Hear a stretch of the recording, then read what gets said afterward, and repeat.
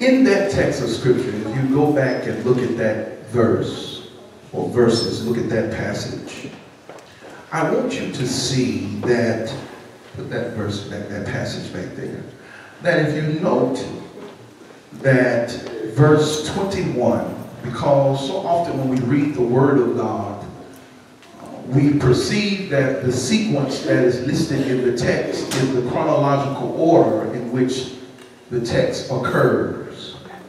And so then for our understanding, I need you to see that uh, the verses 20 through 22 do not happen in that order.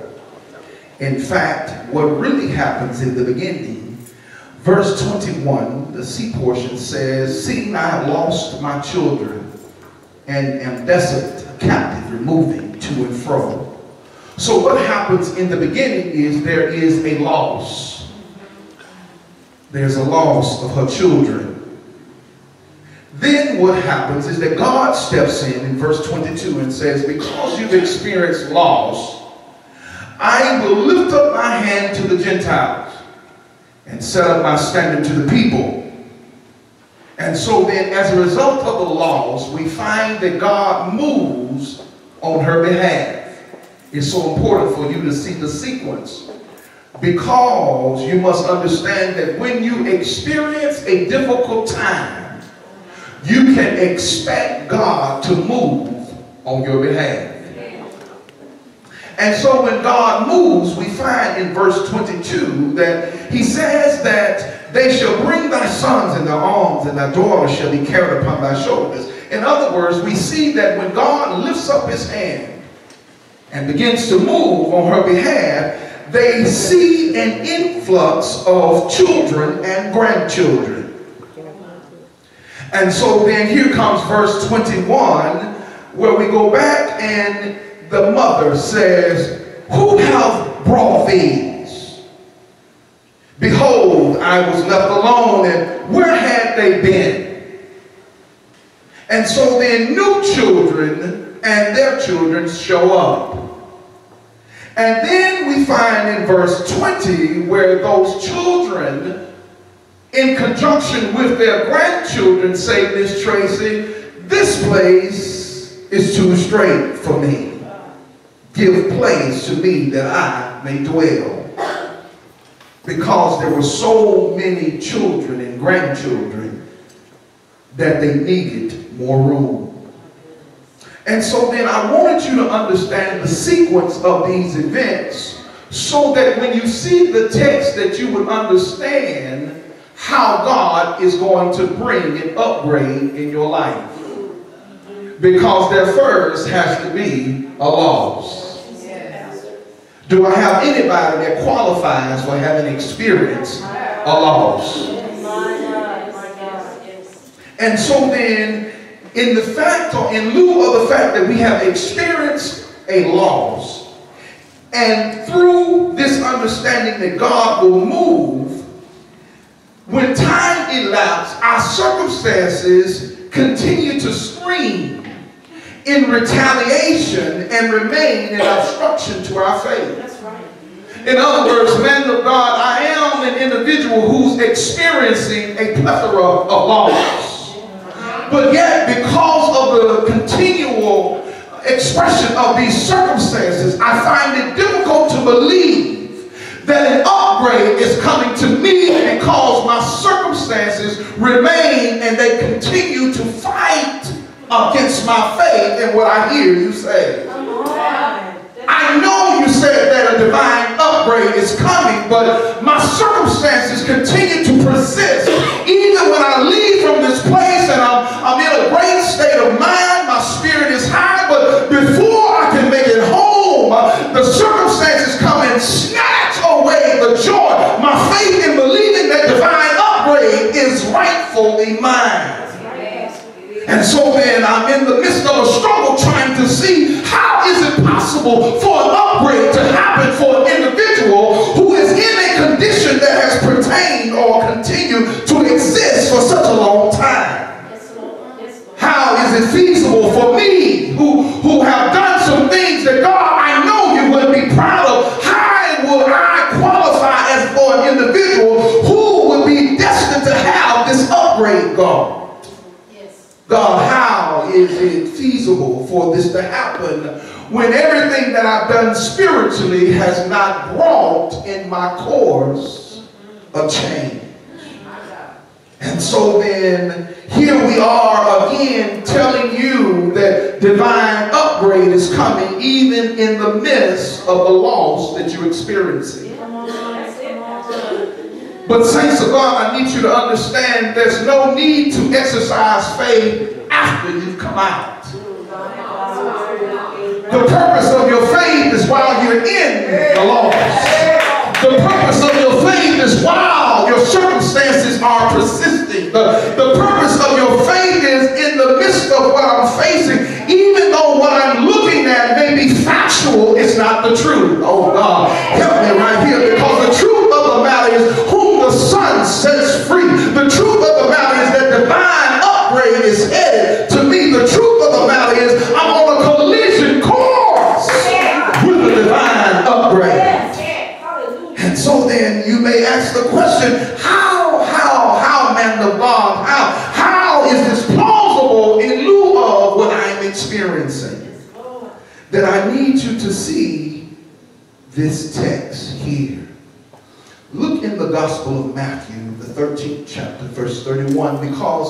I believe that today, that if you don't get it today, that if you don't grab hold today, that if you miss today, that you're going to be in a predicament that perhaps time has already acknowledged that you should not dwell in any longer.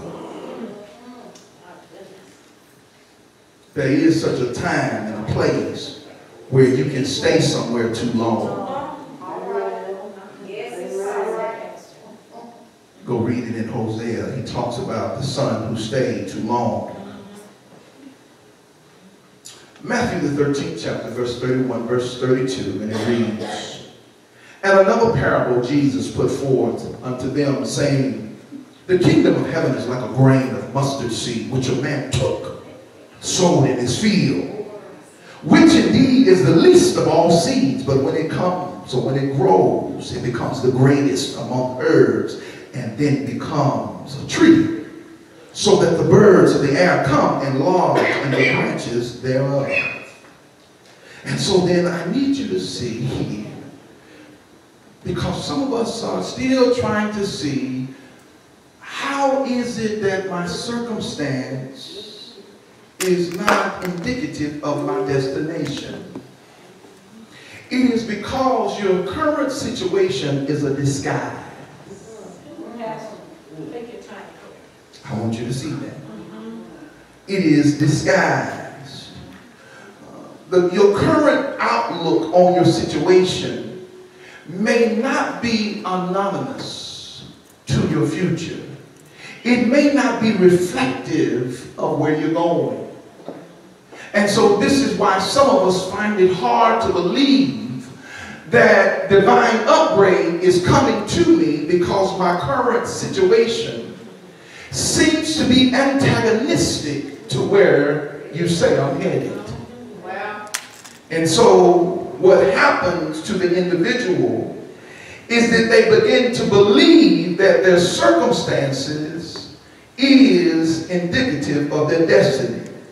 But I need you to look at your neighbor and say, neighbor, I don't look like where I'm headed. Mm. I need somebody to say that one more time. If you really want to know the truth, I don't feel like Because you can't see it, but I need you to know I don't feel like where I'm headed. Because the truth of the matter, there's some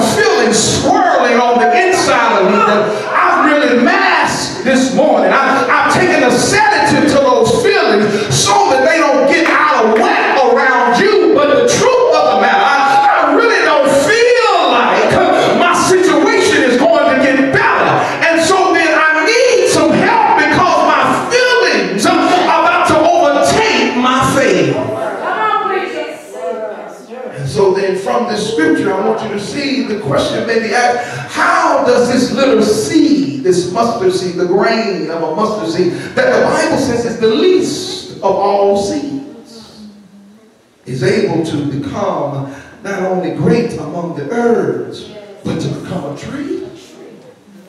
Wait a minute now. First you tell me I'm the least, but I'm going to become the greatest. Oh my God. I wish I had somebody right there that bear witness. Uh, see, we bear witness to the least, but I need somebody to grab hold to I'm still the greatest. Uh, there's still greatness in me. I, I, may be the least among those on my job, but there's still greatness in me. I, I feel like I'm the least among the brethren, but I'm still headed to greatness. And so then there are three things I need you to see here that you will find synonymous and parallel to your situation. The first thing that we find that the seed has to go through a downfall. Mm. This is why the Bible says it is a seed which a man took and sowed in the ground. What?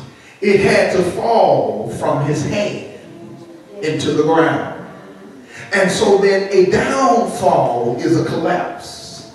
It is a setback. It is distress. It is misfortune. It is disappointment. It is a traumatic event. It is a situation that has removed you from a place of peace to a place of pain.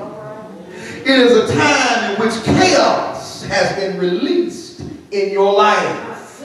And so then when we find ourselves first experiencing a downfall. I, uh, look at your neighbor and say, neighbor, I had always been like this. Uh, uh, there was a time in my life where I didn't have any struggles. There, there was a time in my life where I wasn't suspicious of you. Uh, there was a time in my life where I had my joy and my joy was full. There was a time when we got into bed and you went on your side and I went on my side. There was a time when we got into truck and you rode right next to me, but now your left arm is looking out the window and my right arm is looking out the other one. I wish I had somebody in the house.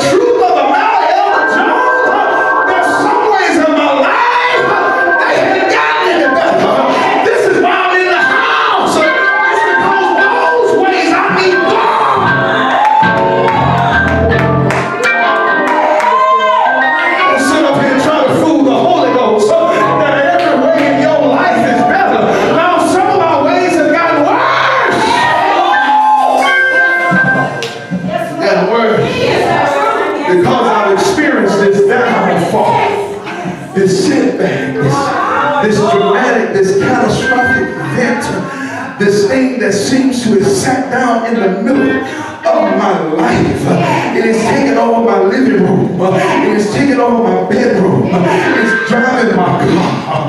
Oh, I wish I had some folk that would just be real right now. Even when I put my makeup on, I still see it.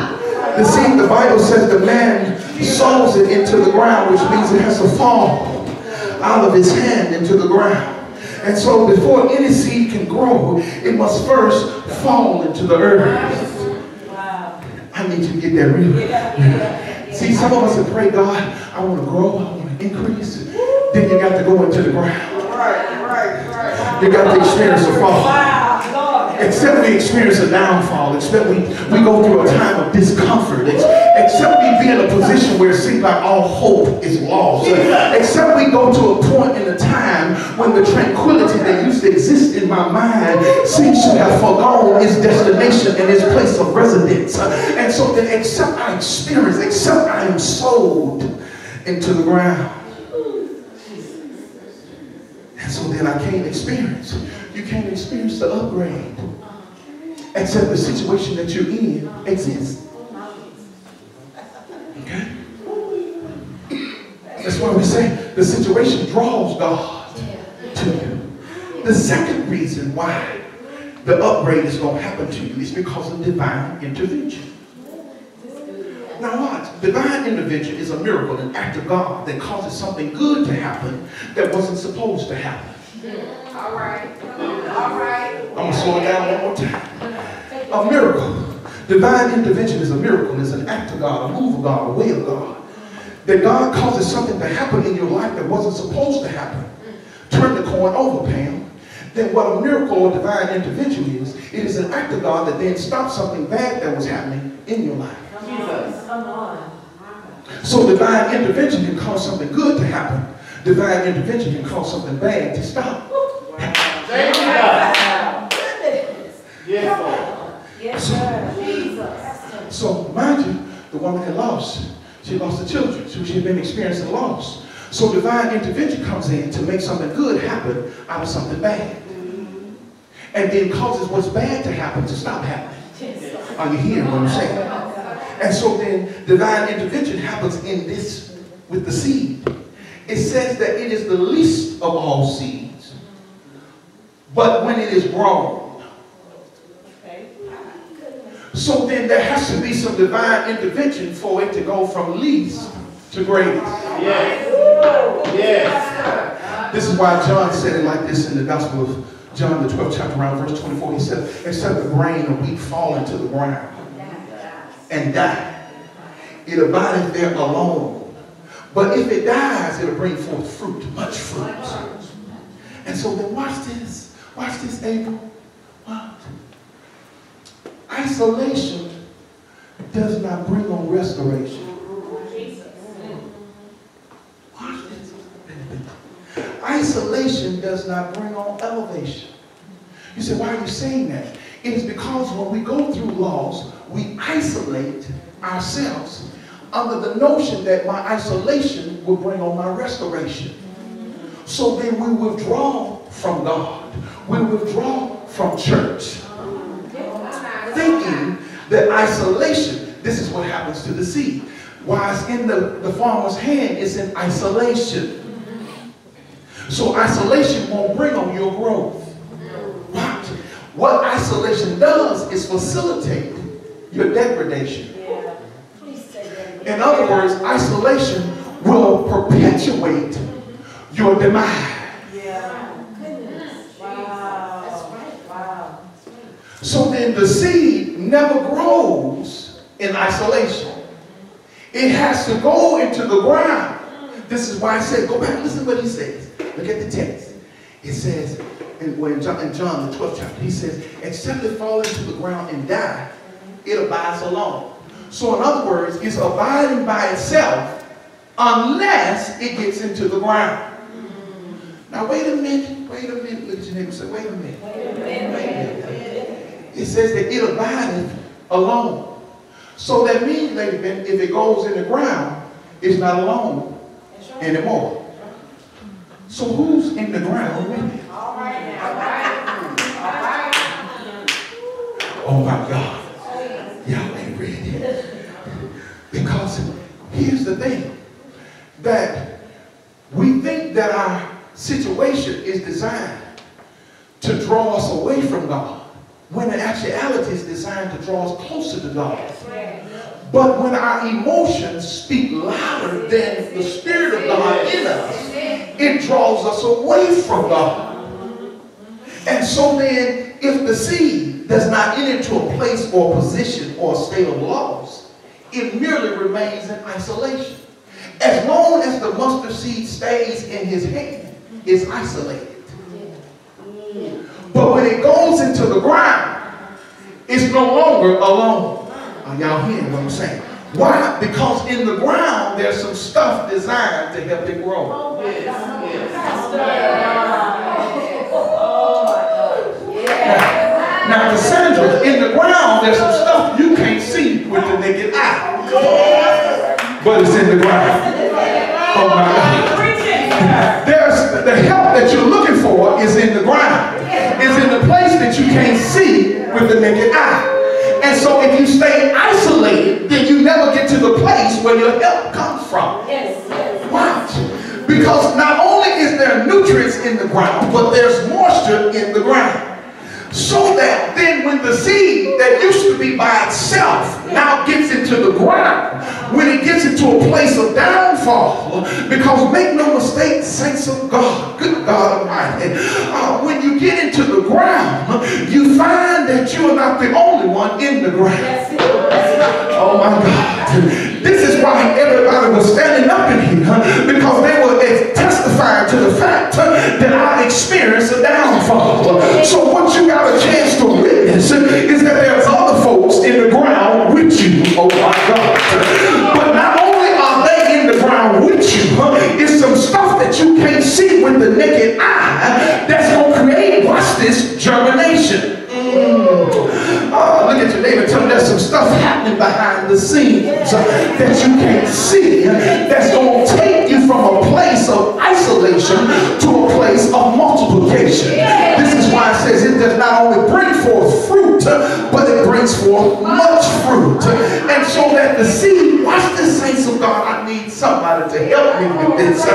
Know that the seed, it abides there, watch this, in his hand alone. But when it falls into the ground, Lady Benton, and it gets around some nutrients, it gets around some water, then it goes through a process called germination. Watch.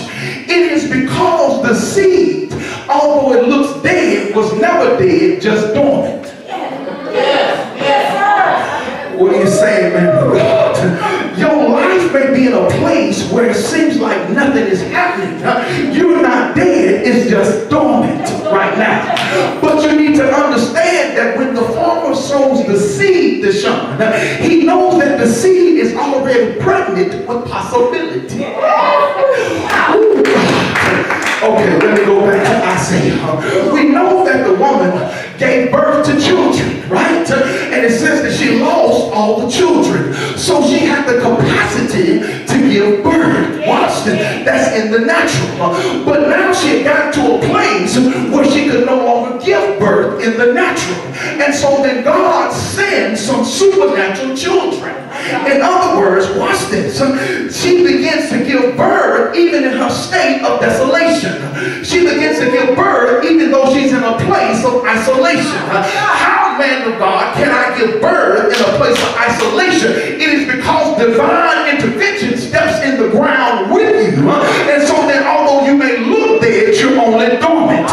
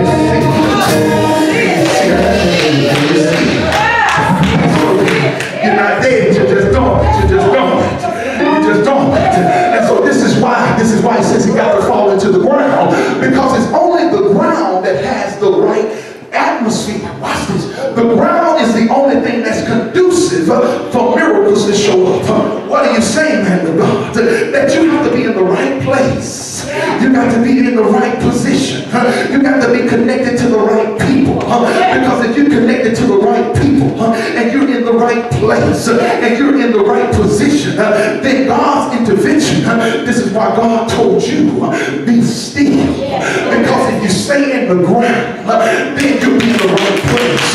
You'll be connected to the right people. You'll be in the right position. So that then intervention can show up.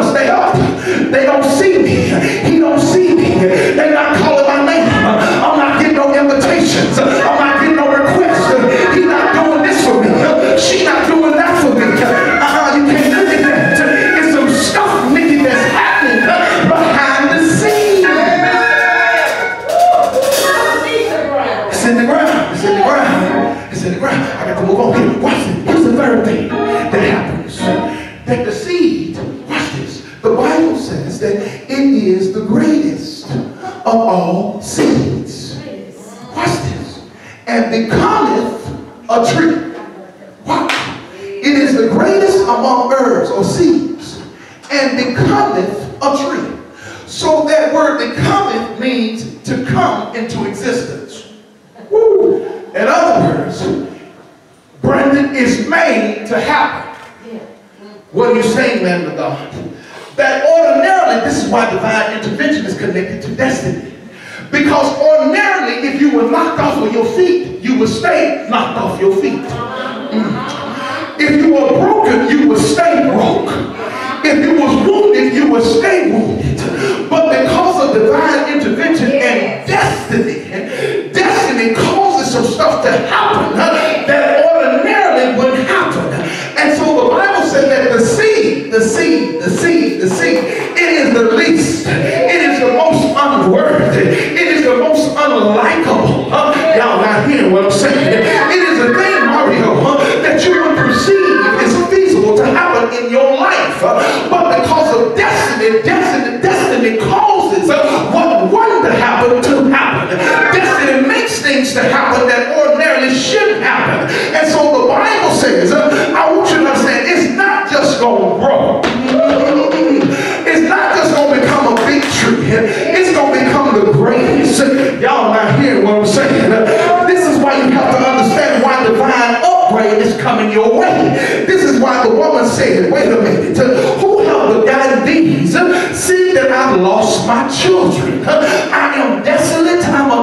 did, and I'm moving